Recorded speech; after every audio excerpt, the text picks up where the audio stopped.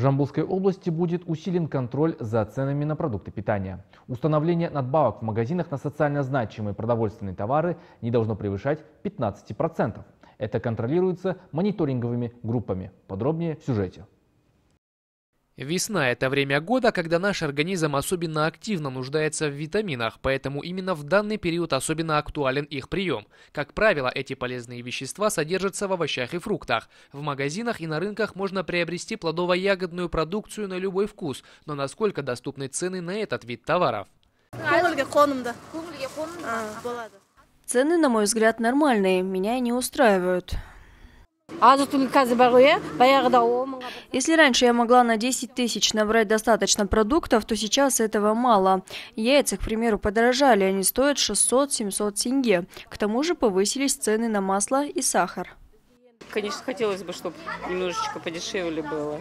Несмотря на то, что в Казахстане действует не плановая, а рыночная экономика, существует список социально значимых продовольственных товаров, цены на которые контролируются государством. Сейчас в нем 19 наименований. Эта категория продовольственных товаров находится на особом контроле у государства. Торговая надбавка на них не должна превышать 15% от отпускной цены. пияз көкөніс тауарының бағасы біршама өсті Цены на лук и некоторые другие овощи выросли. В связи с этим со стороны Акимата путем привлечения стабилизационного фонда и использования оборотных средств проведена продовольственная интервенция, благодаря чему шесть крупных торговых точек Тараза были обеспечены луком. Также в магазин города завозится гречневая крупа и сахар-песок по сниженной цене. Например, цена за килограмм сахара составляет 399 тенге, гречихи 390.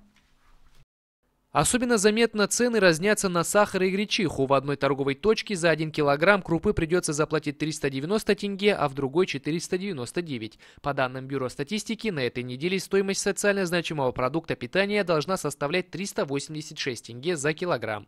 Для того, чтобы регулировать цены в регионе, действуют социальные магазины, куда поставляется продукция из стабилизационного фонда области и отечественных товаропроизводителей по низким ценам. Следует отметить, что предлагаемые здесь цены на продукты питания питания на 10-25% ниже, чем на рынках. Ринат Рахматуллин, Руслан Сандыбаев, Канат Кулыбеков, Айкын Акпарат.